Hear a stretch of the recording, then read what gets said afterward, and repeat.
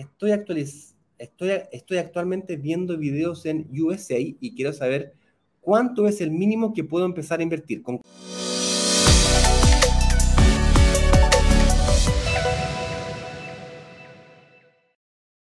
¿Cuánto es el mínimo que puedo comenzar a invertir? Muy buena pregunta, Katy, te respondo inmediatamente.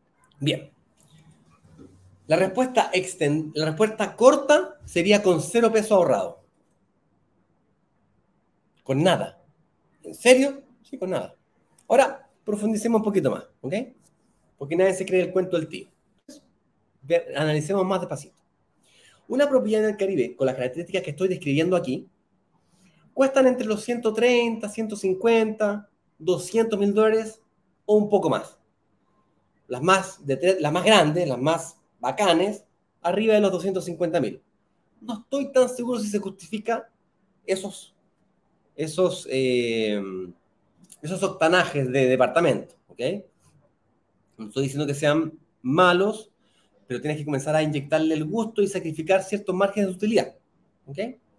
Y esto estoy hablando del Caribe mexicano, específicamente Riviera Maya. No he tocado ni el Caribe colombiano, ni República Dominicana, que tienen otras características que la hacen en este momento menos atractivas que la Riviera Maya. Cosas como, por ejemplo, acceso a financiamiento. En México es muy amigable. Colombia, muy poco amigable. República Dominicana, ah, semi-amigable. Estados Unidos, financiamiento, muy amigable, pero el problema de Estados Unidos es que los precios comienzan en los 250 y suben hasta el medio millón de dólares para arriba muy fácilmente. Entonces, ah, no es tan fácil entrarle.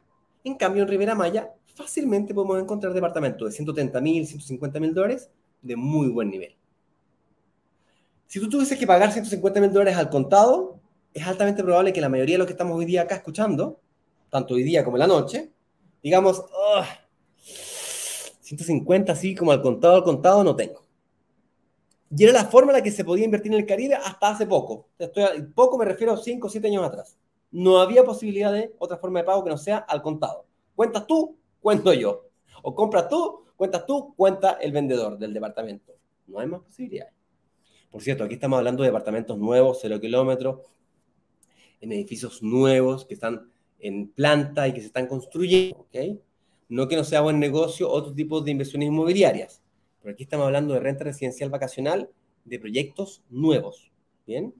No proyectos usados ni tampoco el flipping, que es comprarse un departamento en, en remate o alguien que está pasándolo mal por pandemia o alguien que se aburrió de su departamento, te lo está vendiendo más barato del precio de mercado y tú lo remodelas y lo vendes más caro. Ese es otro tipo de negocio del cual nosotros no estamos hablando. Y para ese negocio de flipping necesitas la plata al contado. Flipping me refiero a que compras y vendes rápido, ¿no? Compras, remodelas y vendes rápido. ¿Quién ha visto estos programas de Home and Health?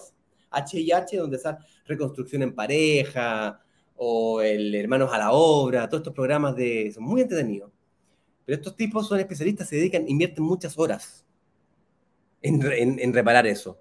Yo no sé tú, pero yo no tengo ese tiempo.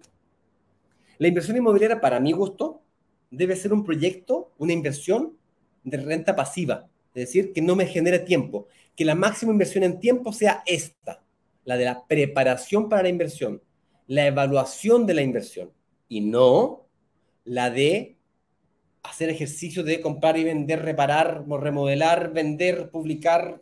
No, eso es mucho trabajo, no es lo que, no es lo que quiero yo para mí.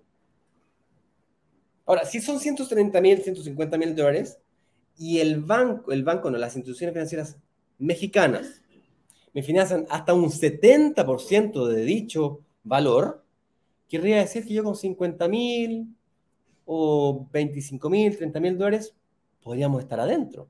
Entonces ya mejoró considerablemente la situación. Ya vamos a ver en la clase número 2 todo sobre financiamiento y cómo conseguir ese financiamiento de ese, de ese 70%. Porque ese 70%, inclusive, gracias al poder de la comunidad, hemos ido logrando negociarlo con las desarrolladoras.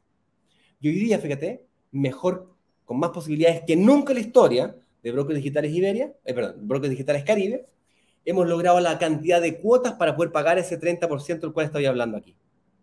Entonces, por eso te digo que podrías comenzar con cero ahorros hoy día mismo, hoy día no, la semana que viene, y utilizar tu capacidad de pago mensual, bueno, si tienes ahorros, lo puedes utilizar para potenciarlo. Básicamente nuestra filosofía es, si tienes ahorros, o parte de los ahorros de ese 30%, potencia tu inversión a través de un descuento especial. Si no los tienes, entonces lo que tú necesitas es tiempo. Tiempo para ir pagando en, en cómodas cuotas dicho 30%. Y prepararte para obtener ese financiamiento correspondiente.